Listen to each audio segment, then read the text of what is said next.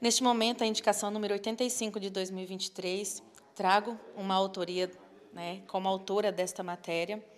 a, a importância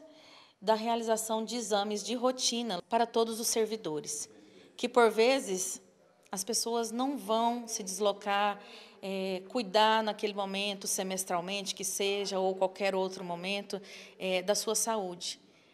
Devido ao seu trabalho, por vezes também não tem essa iniciativa. Então, com essa preocupação, gostaria que nossos gestores, nosso secretário de saúde, em parceria com todas as secretarias do município, né, os nossos gestores, trouxesse um dia D específico para exames de rotina, glicemia, é, procurar a hipertensão,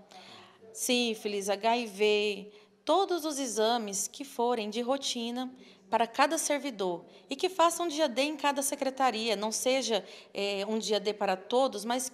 que seja assim de forma mais simples, a cada secretaria marque um dia para repassar com seus servidores esse momento de cuidado especial, visando aí uma saúde melhor para cada qual, até mesmo prevenindo situações que por vezes alguém nem sabe que tem.